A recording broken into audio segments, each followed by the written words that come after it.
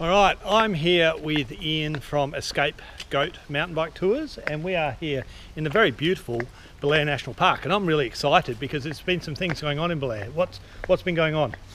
Well, um, the main thing is that the, um, the Bel Golf Course uh, closed down about three years ago, and uh, the land has all been passed back over to national parks. So um, we've got this big area of land that now potentially is hoping to be redeveloped as a mountain bike park, shared use trails, and um, our business has taken over the Goat Shed, which is the old pro shop, and we now do uh, bike hire, coffees, uh, and as soon as we got more trails here, we intend to do some skills training, uh, move all of our skills training and everything to, to operate from here.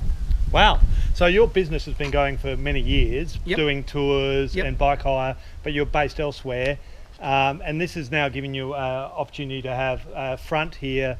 And in the national park, there was an existing adventure loop, I think Yep. it was. Yep. So that's 15 k's or 12 k's or Uh, something. so that's 15k. Yep. 15k, so that's existing. So that's there. You can hook onto that from here. Yep. But I'm also excited because there's a new birdie trail, isn't it? Yeah, so the Birdie trail is a 3k beginner's loop that goes all the way around the, um, the golf course.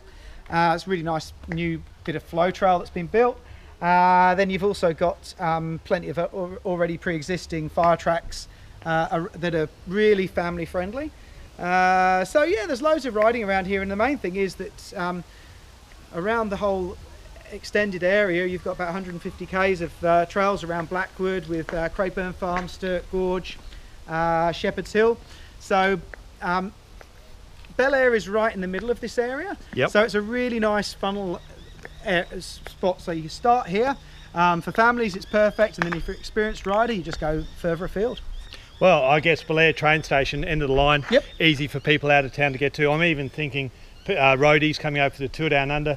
Can't pop in for a coffee. You've got a great coffee machine there. Uh, a raw uh, aroma beans as well. Yep. And uh, so we've had some good coffees here, and the locals seem to be enjoying it. But they could switch over their roadie to a mountain bike and do a blat around here, around the golf course. Yeah, and I mean the, the whole thing about being up here is that you've got the, the train line, so you can do an, an epic ride. I mean, there's so much riding you can do here. Yep. Um, but yeah, the whole idea of us being here is so that people can come in and pick up bikes and, and go from go wherever. And we might show, I'll show some footage of the golf course, but there's huge potential here. There was 18 holes, It's now zero holes. Yep. The fairways are still there. Uh, there's This is Kangaroo and Koala Central. If you ever want to ride and see a koala, this is your best bet.